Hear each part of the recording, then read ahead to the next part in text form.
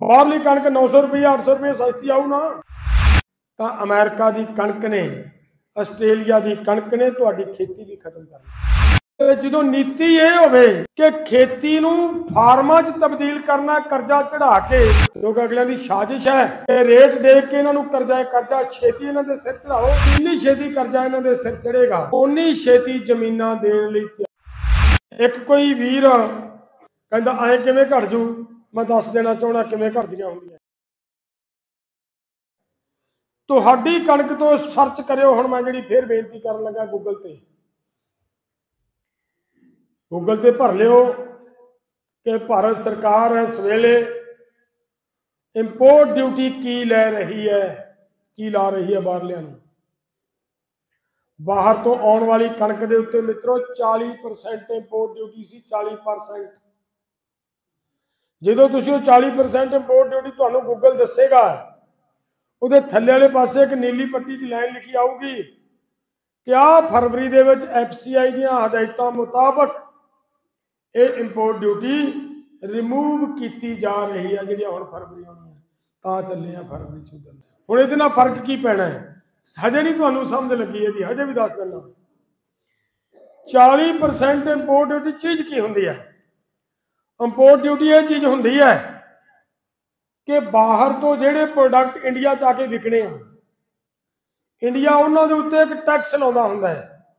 ਉਹ ਟੈਕਸ ਇਸ ਹਿਸਾਬ ਨਾਲ ਲੱਗਦਾ ਹੁੰਦਾ ਹੈ ਕਿ ਮੇਰੇ ਆਪ ਦੇ ਭਾਰਤ ਦੇ ਵਿੱਚ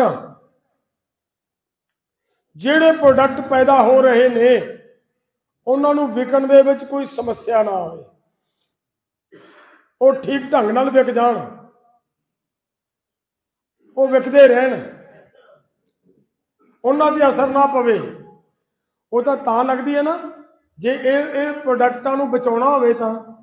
ਤੇ ਜਦੋਂ ਨੀਤੀ ਇਹ ਹੋਵੇ ਕਿ ਖੇਤੀ ਨੂੰ ਫਾਰਮਾਂ 'ਚ ਤਬਦੀਲ ਕਰਨਾ, ਕਰਜ਼ਾ ਚੜਾ ਕੇ ਫਿਰ ਇਹ ਨੀਤੀ ਚ ਵਰਤਣਗੇ, ਬੋਲਿਓ। ਫਿਰ ਤਾਂ ਇੰਪੋਰਟ ਡਿਊਟੀ ਖਤਮ ਕਰਨਗੇ ਨਾ। ਹੁਣ 40% ਇੰਪੋਰਟ ਡਿਊਟੀ ਆ, ਸਾਡੀ ਕਣਕ ਦਾ ਰੇਟ ਸੀ 2200 ਰੁਪਈਆ।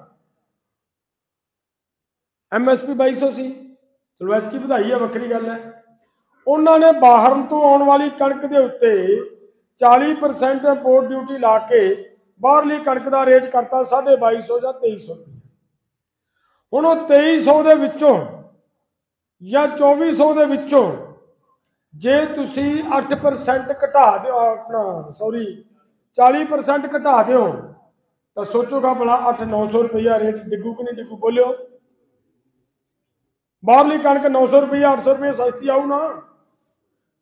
ਤੇ ਜਦੋਂ ਬਾਹਰਲੀ ਕਣਕ 900 ਰੁਪਇਆ ਜਾਂ 800 ਰੁਪਇਆ ਜਾਂ 700 ਰੁਪਇਆ ਸਸਤੀ ਆਈ, ਫਿਰ ਤੁਹਾਡੀ ਕਣਕ ਵਿਕਣ ਤੇ ਪ੍ਰਭਾਵ ਪਊ ਕਿ ਨਾ ਪਊ, ਇਮਾਨਦਾਰੀ ਦੱਸੋ। ਇੱਕ ਕੋਈ ਵੀਰ, ਉਹ ਆਪਣੇ ਆਪ ਨੂੰ ਮੇਰਾ ਖਿਆਲ ਆ ਪ੍ਰੋਫੈਸਰ ਦੱਸਦਾ ਹੈ। ਜਿੱਦੇ ਮੈਂ ਪਹਿਲੇ ਦਿਨ ਕਿਸੇ ਪਿੰਡ 'ਚ ਬੋਲ ਕੇ ਆਇਆ, ਉਹਦੇ ਤੇ ਬਹੁਤ ਮਗਰੋਂ ਉਹਨੇ ਇੱਕ ਵੀਡੀਓ ਵੀ ਪਾਈ ਹੈ। ਕਹਿੰਦਾ, ਐ ਕਿਵੇਂ ਘਟ ਜੂ? ਮੈਂ ਦੱਸ ਦੇਣਾ ਚਾਹਣਾ ਕਿਵੇਂ ਘਟਦੀਆਂ ਹੁੰਦੀਆਂ ਕਿਵੇਂ ਇੰਡਸਟਰੀਆਂ ਤੇ ਕਿਵੇਂ ਧੰਦੇ ਚੌਪਟ ਹੁੰਦੇ ਆ। ਆਪਣੇ ਕੋਲੇ ਅੱਜ ਤੋਂ 12 14 ਜਾਂ 15 ਸਾਲ ਪਹਿਲਾਂ, ਉਦੋਂ ਪਹਿਲਾਂ ਤਾਂ ਹੁੰਦੀਆਂ ਸੀ ਸੈੱਲਾਂ ਵਾਲੀਆਂ ਬੈਟਰੀਆਂ। ਸੈੱਲਾਂ ਵਾਲੀ ਬੈਟਰੀ ਤੋਂ ਬਾਅਦ 20 ਸਾਲ ਪਹਿਲਾਂ ਇੱਕ ਬੈਟਰੀ ਆ ਗਈ ਸੀ ਚਾਰਜੇਬਲ, ਰੀਚਾਰਜੇਬਲ। ਆ ਗਈ ਸੀ ਨਾ? ਮਗਰ ਇੱਕ ਬੈਟਰੀ ਪੈਂਦੀ ਹੁੰਦੀ ਸੀ ਉਹਦੇ। ਔਰ ਉਹਨੂੰ ਬਿਜਲੀ ਤੇ ਲਾ ਕੇ ਚਾਰਜ ਕਰ ਲਿਆ ਜਾਂਦਾ ਸੀ। ਆਈ ਸੀ ਨਾ, ਉਹਦੀ ਕੀਮਤ ਕਿੰਨੀ ਸੀ? ਸਵਾ 200 200 250 ਇੰਨੀ ਕੀਮਤ ਸੀ ਨਾ। ਔਰ ਬਾਹਰਲੇ ਚਾਈਨਾ ਦੇ ਇਲੈਕਟ੍ਰੋਨਿਕ ਦੇ ਸਮਾਨ ਤੋਂ ਜਦੋਂ ਇੰਪੋਰਟ ਡਿਊਟੀ ਇੰਡੀਆ ਨੇ ਘਟਾਈ ਤਾਂ ਉਹਨਾਂ ਦੀ ਬੈਟਰੀ ਆਈ।